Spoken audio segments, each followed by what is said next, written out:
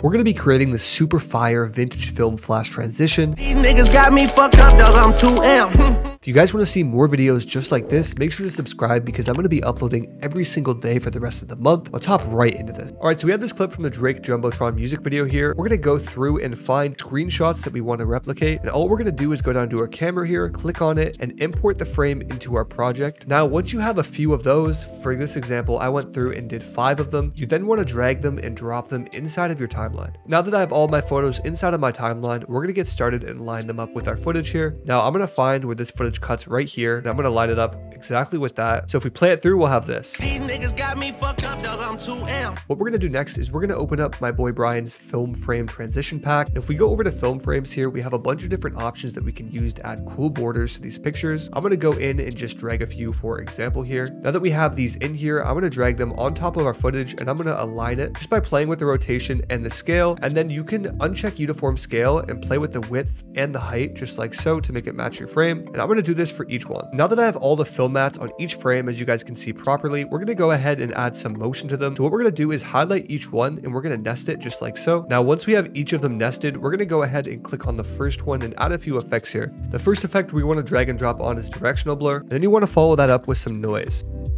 Now going into effect controls here, we're going to go into our directional blur and we're going to keyframe our blur length at the beginning and we're going to bring it up to something like, let's say 120. And then we're going to go about here two frames in and bring it down to zero. And then what we're going to do is do the exact same thing at the end. We're going to press control C to copy this keyframe that says zero here, paste it here with control V, and then we're going to copy this keyframe that has 110, paste it here and bring it to the end. So we'll have an effect like this where it blurs and then blurs out. And then we're gonna go ahead and turn up our noise on this as well. And we're gonna make sure we don't use color noise. Now we're gonna go into lumetri color now and turn up our contrast all the way. Play with our highlights a little bit, play with our saturation a tad bit. And then a lot of film photos really have a lot of green in them. So I'm gonna bring the greens up and the oranges up as well. And just mess around with it until you get it to your liking. I like something like this. Now what you wanna do is press Control C on this clip here and then press Control Alt V and paste it on the rest of them just like so. And you're gonna have this unique effect of them all clipping through just like this, got me up, dog. I'm 2M. which is super fire so far, but we're going to spice it up a little bit more with some sound design. So all these sound design assets I'm going to use are going to be linked in the description for absolutely free. We're going to start off with our camera clicks here. Now, if we crop the first one at the beginning here and I show you it by itself, it's going to sound like this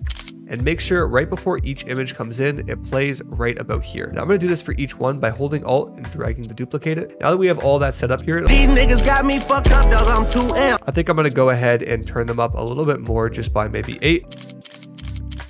And what you can do to make it stand out a little bit more is to grab a different camera shutter like the end of this one here and mix it in with every other one. So every other one will have these two shutters in. If we play that through, it gives it a little bit of a different sound.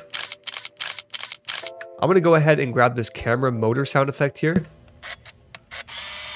And I'm going to put that in the background of this just to add a little bit more texture. And I'm going to fade it out just like that. Niggas got me fucked up. I'm 2M. If you guys enjoyed this video, make sure to hit subscribe because I'm going to be uploading every single day for the rest of the month, like I said. And if you do want to go grab those film mat overlays, they'll be linked in the description below. I'll catch you guys in the next one. Peace.